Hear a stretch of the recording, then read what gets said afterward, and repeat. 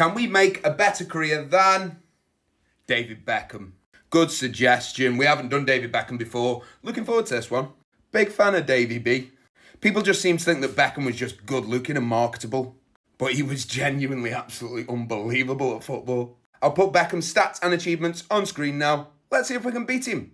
Right midfielder, Europe every two years. Come on then, where do we start? Start at Genk in Belgium, who do finish first. So, that might be a couple of league titles in the bag. Crystal Palace, we will move. We will move to, we will move to England. So right wing, it's coming up as.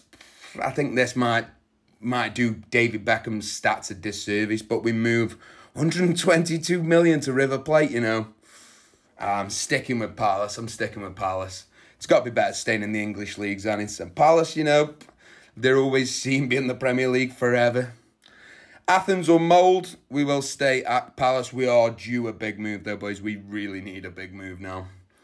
Ajax or Sociedad. Do you know what? We will move to Ajax. It might open the it might grease the wheels to move somewhere else. So we'll take it on. Ajax is a very big club anyway, so I'm not really upset with that move anyway. So we're at 28. Brest in France. We will leave that. We'll stay in the Netherlands. We're at 30 years old. We've got is that four or five potential moves left? Chelsea, that's a nice move. We'll move to Chelsea, the Chelsea. Beautiful. 32, Everton have come in. Uh, offered a measly 27 million euros when we're worth 138. I don't think so. PSG, though, that might be... We've got to take PSG, boys. We've got to take PSG. So this is the last move of the career. We're going to stay at PSG. Now we move into management for one year, two years, who knows.